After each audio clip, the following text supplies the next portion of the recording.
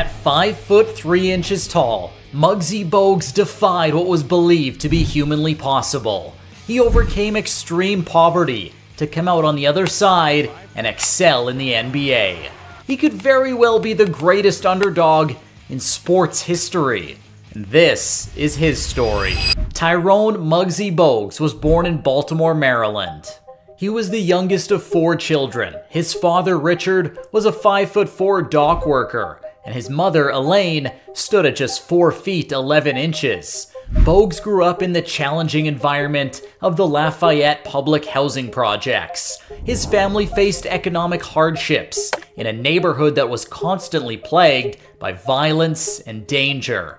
In fact, Bogues claimed that those who grew up in the Lafayette projects didn't even expect to live past 20 years old. At just 5 years old, Muggsy became a victim of gun violence when he was caught in the crossfire of a robbery. The incident left him with injuries to his arms, chest, and head, but luckily, he was able to make a full recovery. But once again at the wrong place, at the wrong time. Muggsy, as a young child, witnessed a man getting beaten to death with a baseball bat a memory that continued to traumatize him as an adult. Only a few years later, his father was incarcerated on an armed robbery charge when Muggsy was just 12 years old. Meanwhile, his older brother Chucky was heavily addicted to hard drugs. These circumstances were the neighborhood standard. Muggsy refused to become a victim of the harsh streets of Baltimore. Instead, Muggsy became obsessed with basketball he and his friends used makeshift basketball nets crafted from open bottom milk crates hung on fences.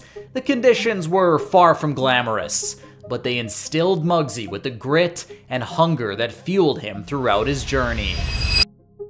During his milk crate basketball days, Leon Howard, a coach who recognized his potential, guided him toward organized sports. He initially enrolled at Baltimore Southern High School, but transferred over to Dunbar High School, a school known for their renowned basketball program. Surprisingly, the reason Muggsy transferred actually had nothing to do with basketball. At the time, the NBA was beyond his wildest dreams. Instead, he aspired to be a dental technician, and Dunbar High School offered classes that specialized in healthcare. With that being said, Muggsy was well aware of the program at Dunbar and was hoping that if he could excel on the basketball court, he could earn himself a college scholarship to pay for his education. At first impression, no one took Muggsy Bogues seriously.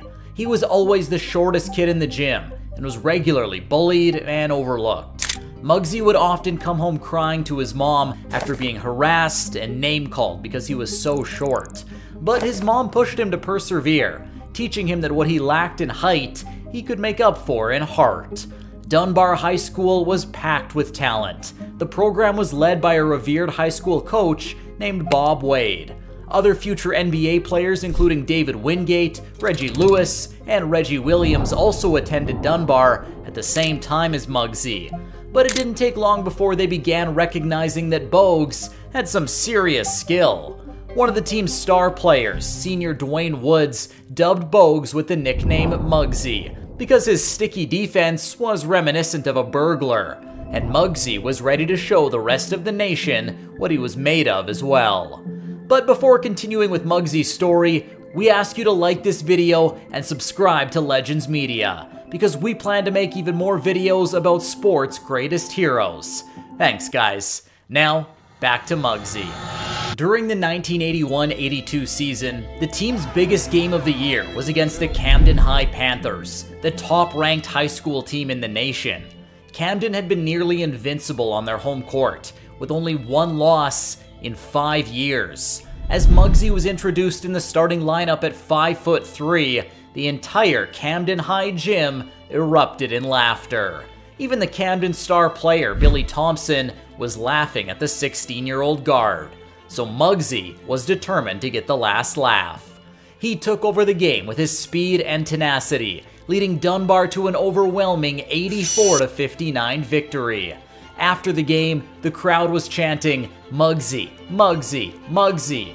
Oh, and that was just the start. In his junior and senior years, Dunbar won 59 consecutive games, earning the Poets national recognition as the top-ranked high school team in the United States. The Dunbar High Poets won back-to-back championships, and despite playing alongside three future NBA players, Muggsy was named the most valuable player on his team and in the city's public school league.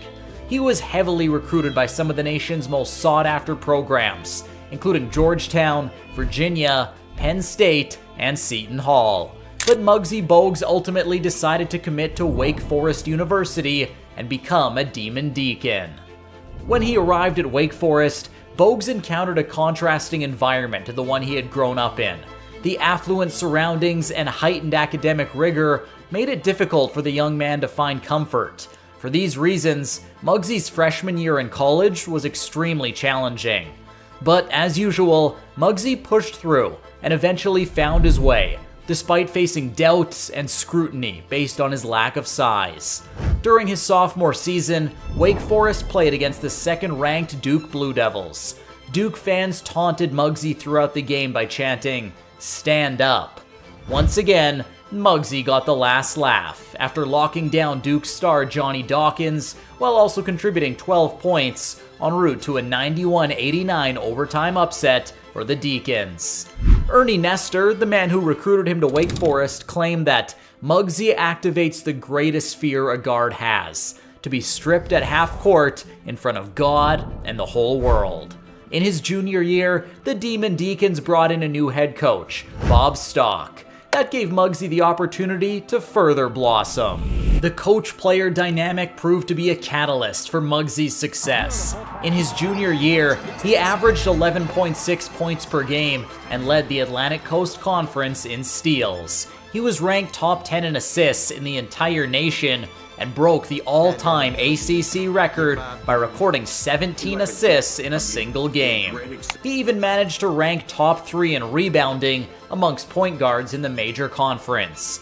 The reason Muggsy was so able to dominate, despite his height, was because he didn't see it as a disadvantage. In fact, he viewed basketball completely differently than the other players on the court. In Muggsy's eyes, only a small portion of the game is played in the air. For the most part, the game is played on the ground, and he called the floor Muggsy Land. As long as the ball was being dribbled, he made it his sole purpose to dominate. With speed, quickness, tenacity, precision, heart, and ferocity, Muggsy Bogues regularly made life miserable for his opponents. The highlights of his college career came when he was selected for the US national team in 1986. With Muggsy as the point guard, the United States won the World Championship title in Malaga, Spain for their first time in 30 years. In January of 1987, he entered his senior year at Wake Forest loaded with confidence. He set a school record with 579 assists in his senior year, which allowed him to set a new ACC record with 781 career assists. He also led the ACC in steals and minutes played while leading Wake Forest in scoring. His achievements during his senior year extended to being named to the All-ACC team. Years later, Wake Forest retired his number 14 and hung it from the rafters. And to this day, in 2023, Tyrone Muggsy Bogues remains Wake Forest's all-time leader in both steals and assists. Take that, Chris Paul. Following his college career in 1987, Muggsy entered the NBA draft, taking his first step towards realizing his lifelong dream. As usual, he faced plenty of scrutiny going into the draft based on his stature. Dominating college was one thing, but the NBA was a whole other story.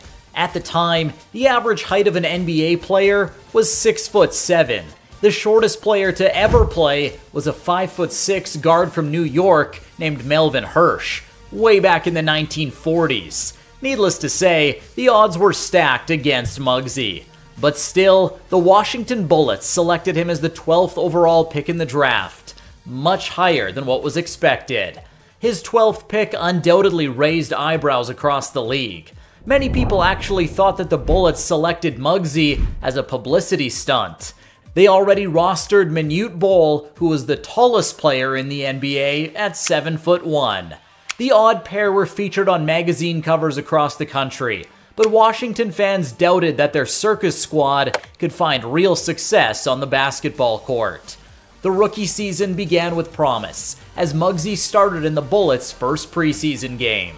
However, his initial campaign was challenging and included a coaching change partway through. Wes Unseld took over for Kevin Loughery mid-season, and Muggsy was immediately placed in the doghouse.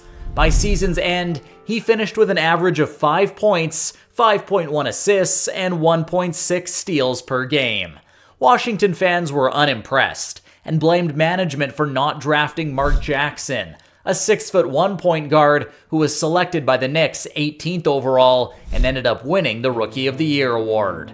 Instead of sticking to their guns, the Bullets opted to expose Muggsy to the expansion draft in 1988. They were ready to cut ties and admit their mistake to their pissed off fan base, before even giving Muggsy a real opportunity to show his worth. After the Charlotte Hornets selected Muggsy in the expansion draft, he held no hostility towards the Bullets. He just expressed gratitude and went about his business as usual. Even though the team had a losing record in their first year, the Hornets still led the league in attendance, drawing near capacity crowds for home games.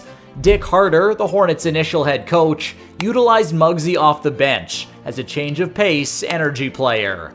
But a coaching change in January 1990 brought Gene Littles into the helm, which provided him the opportunity he had been waiting for to showcase his talents as a starter. During the 1989-90 season, Muggsy Bogues averaged 9.4 points, 10.7 assists, 2 steals, and only 1.8 turnovers per game. Still, the Hornets struggled as a team, only winning 19 games all season. All the losing gave the Hornets the opportunity to select some highly touted prospects. They added future All-Stars Larry Johnson and Alonzo Mourning to the team through the draft, and eventually became a force to be reckoned with. The trio shared unbelievable chemistry, making them one of the most electrifying teams in the NBA. By this time, Allan Bristow was the team's head coach, while Muggsy served as the team's on-floor general and fan favorite, leading their up-tempo attack. The 1992-93 Hornets entered the playoffs as the fifth seed, and even knocked off the Boston Celtics by a series score of 3-1 in the first round. Then, in the second round, they were defeated by the Knicks. In 1995, after a year-long hiatus, the Hornets once again returned to the playoffs, where they were matched up in the first round against the Chicago Bulls. Michael Jordan made his triumphant return to basketball after a short stint as a baseball player, and the series received plenty of national attention. Muggsy Bogues proved his talent and grit despite being disrespected by Jordan, who famously referred to Bogues as a midget throughout the series. In the final game of the series, Bogues famously stripped Jordan but was called for a highly disputed foul that could have been the difference in the game. Then, in the final moments, he was left open for the game-winning shot by Jordan, who dared him to shoot. Bogues bricked the shot off of the back rim, and the Hornets were sent home packing.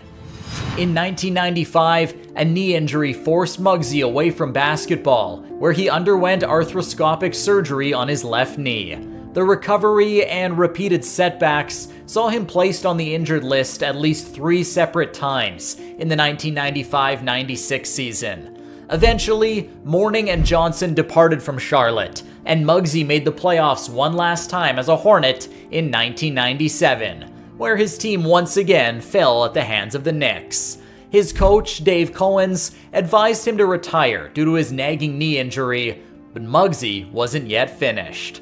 Instead, the Hornets were the ones who ended their relationship by trading the point guard to the Golden State Warriors in November of 1997. His departure marked the end of an era. His time in Charlotte coincided with the Hornets' rise to popularity. The city embraced the team and its star point guard, making Muggsy a favorite among fans of all ages. Between 1989 and 1995, he ranked among the top 10 players in the league for assists each season, only ranking outside of the top 4 once. In the 1992-93 season, Muggsy finished the season with the NBA's best assist to turnover ratio. In the 93 94 season, he averaged a double double, with a second place finish in assists per game. He set a career high with 10.8 points per game in the 1994 95 season. At the time, he was the NBA's all time leader in assist to turnover ratio and held the franchise records for steals and assists. Though he never was selected as an All Star or made a deep playoff run, his time in Charlotte defied what was considered possible for a man who stood only 5 feet and 3 inches tall, especially one who grew up surrounded by crime and poverty. Muggsy Bogues' career continued with the Golden State Warriors and the Toronto Raptors, where he transitioned into a mentor role, teaching younger players what he had learned throughout his journey. In the 1997 98 season, he led the Warriors in assists, but lacked the health needed to dominate the game the way he was previously capable. His second season with the Warriors brought more hurdles, including hamstring and knee injuries, as well as an unexpected bout of chickenpox. But throughout, Muggsy continued to display the same conduct that endeared him to peers and fans throughout his entire life. In preparation for the 1999 2000 season, Bogues signed with the Toronto Raptors, reuniting with longtime teammate Dell Curry. With the Raptors, he played 80 games in a season for the first time since 1992 93, though he started in only five of those games. He mentored young future stars in Tracy McGrady and Vince Carter as the Raptors began creating their own unique culture. But eventually, chronic knee issues forced Muggsy to end his career. In the 2001 season, he only managed to play in three games before he was forced out of action and never returned to the NBA basketball court.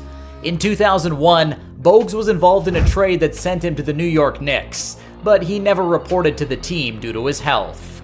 Muggsy Bogues' legacy digs way deeper than his playing career. Standing at just 5 foot 3, Bogues totally defied the odds to not only enter the league, but thrive in it. His charisma and ability to succeed against all odds made him one of the most marketable faces of the NBA in the 1990s.